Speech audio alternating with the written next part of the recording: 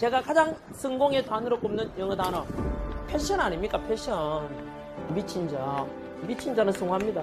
미친 자는 또라이 되는 게 아니고요. 나에게 주어진 모든 에너지와 열정과 시간을 오직 하나에 집중할 수 있는 사람. 나머지 두 번째 중요한 세 번째 중요한 네 번째 중요한 것을 포기할 수 있는 사람. 가장 중요한 하나를 위해서 내 모든 것을 걸 수 있는 사람. 이런 것을 진정한 미친 자라 부르고 이런 사람을 바로 패션일 수 있는 사람.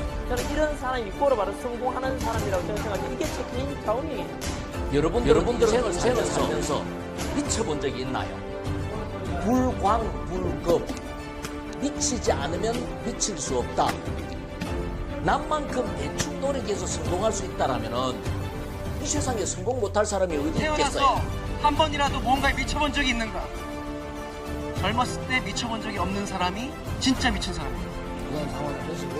미쳐본 적이 있는 몰입해본 적이 있는 나한테 인정받는 거 다른 사람한테 인정받는 게 아니라 나한테 인정받는 것이 진정한 성공이에요. 그러니까 이 행복이 이면엔 당연히 고통이고 슬픔이야. 왜? 그 과정을 견뎌야 돼. 여러분들 이렇게 뭔가에 미친다는 게 뭔지 아십니까?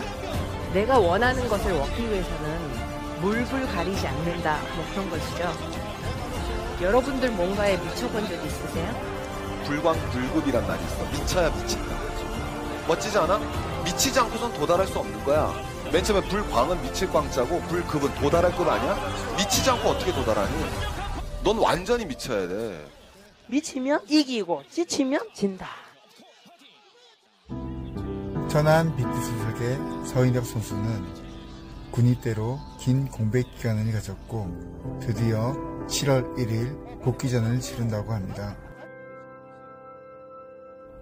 펀치력, 스태미너, 맷집, 그리고 신체 능력은 서양 선수와 비교해도 뒤처지지 않습니다. 남은 기간 훈련을 열심히 해서 멋진 경기 보여주시길 응원하겠습니다. 복싱에 미친 자 서인덕 화이팅!